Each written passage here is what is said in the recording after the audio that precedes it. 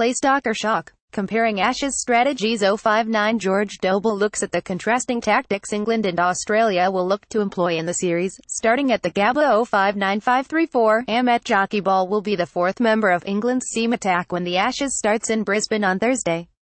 Ball, the Nottinghamshire seamer, one selection ahead of Craig Overton. The England team management felt Ball's extra pace and ability to extract bounce will be an advantage on the hard Australian pitches.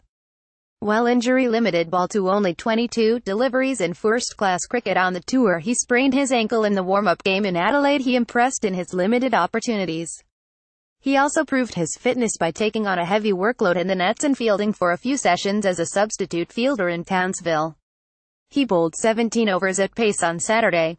This will be his fourth test, meaning he is one of four men in the England side to have played fewer than 10 tests.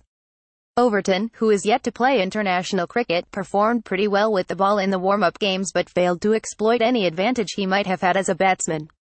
A player good enough to have scored a first-class century, Overton has been dismissed for a duck in all three innings he has played on tour.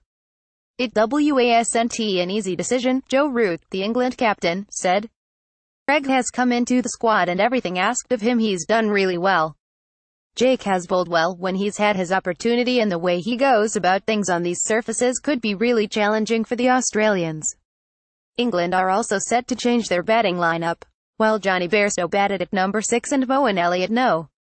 7 in the last warm-up game, they will swap places for this test.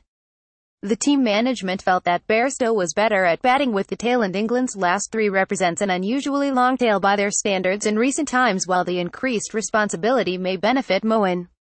It is something of a surprise, though. Moeen has batted once on the tour and scored just five. He averages 68.54 at no. 7 where he has batted 14 times in tests and just 21 at no. 6 where he has batted 11 times. Promoting Moeen also means that four of England's top six Alastair Cook, Mark Stoneman, Dawid Malan and Moeen are left-handers. Bairstow, by contrast, averages 45.91 batting at no. 625 innings and 42.46 at number 730 innings.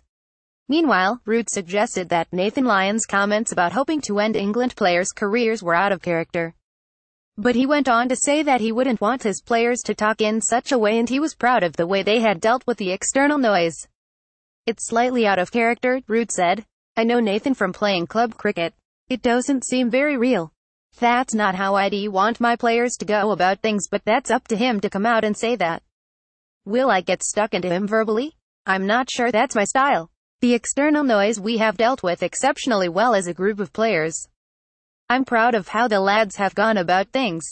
Of course, we'll probably get a good atmosphere within the ground and there might be a bit of noise from the crowd and stuff but I see us as absolutely ready to go. There's a really calm atmosphere within the dressing room. I am surprising myself how calm I am. I think that's a really good place for us to be as a side.